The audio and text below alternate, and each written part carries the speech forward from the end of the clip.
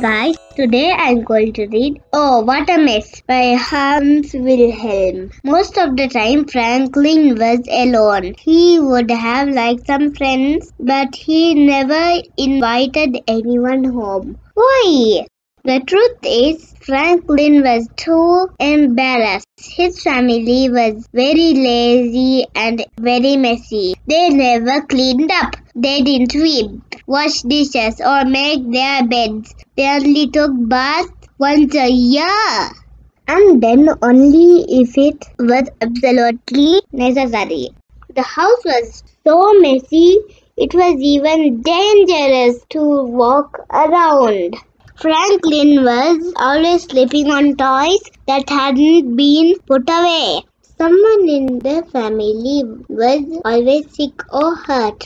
Franklin's parents didn't seem to care very much. They spent most of their time sleeping. Every morning, Franklin got up early for school. His brothers always overslept and then the last minute they would wake up and follow Franklin to school without washing up or eating breakfast.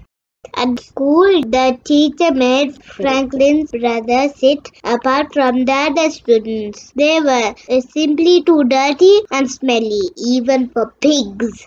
Franklin often wished his brothers would change a little, but his brothers didn't seem to care. One day, all the pigs had to paint a picture. They could paint whatever they liked. Franklin decided to paint a pretty rainbow. He worked hard at it. When it was finished, Franklin's rainbow was the most beautiful painting in the whole class. The teacher held it up for everyone to see, and then she pinned a beautiful ribbon on it. First prize. Franklin wasn't used to this kind of attention. He was a little shy.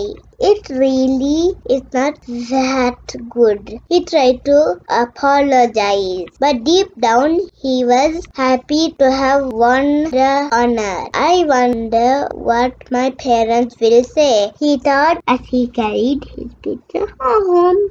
To Franklin's delight, his family was impressed. Look at this. We got a real Rembrandt in our family, cried his father with pride. This is the loveliest rainbow I have ever seen, added Franklin's mother.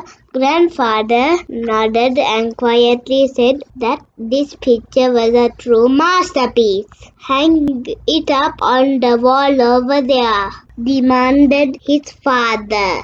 Oh, I don't know, Franklin tried to say. But his father insisted. Don't be shy, son. This picture deserves to be seen by everyone.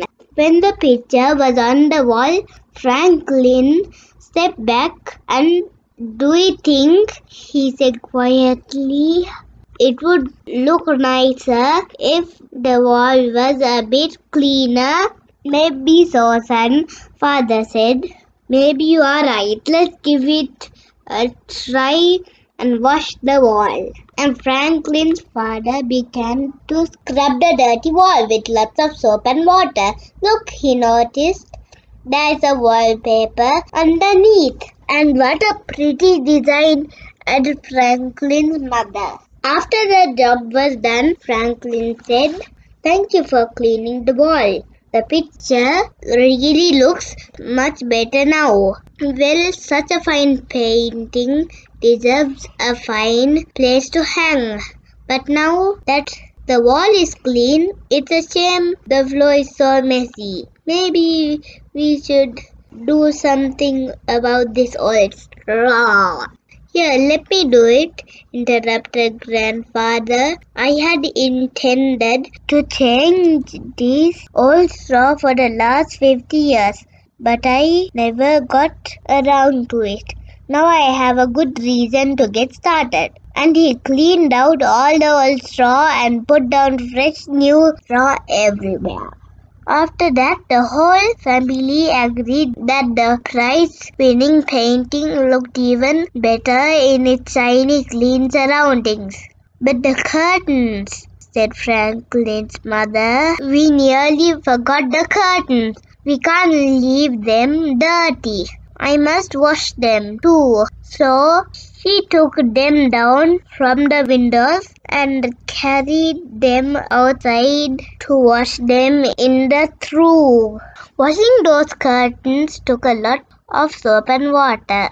A lovely soft white foam rose from the trough and spilled bubbles over the sides. It looked so tempting that suddenly the whole family jumped in for a bubble bath. They spent the whole afternoon in the trough, splashing and playing, grunting and laughing.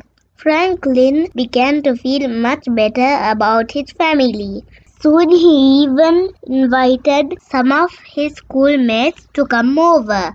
His mother served them cookies, and his father found an old harmonica and began to play songs. Grandfather joined in a few games too. Before they left, Franklin's friends told him, Your family is the best. Franklin had to agree.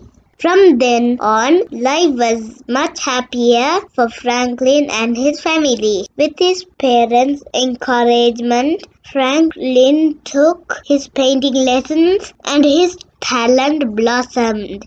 His mother and father, his grandfather, even his brothers managed to keep the house and themselves clean and neat. Only once in a while, they all took a crazy mud bath together, including Franklin. The end. Thank you for watching.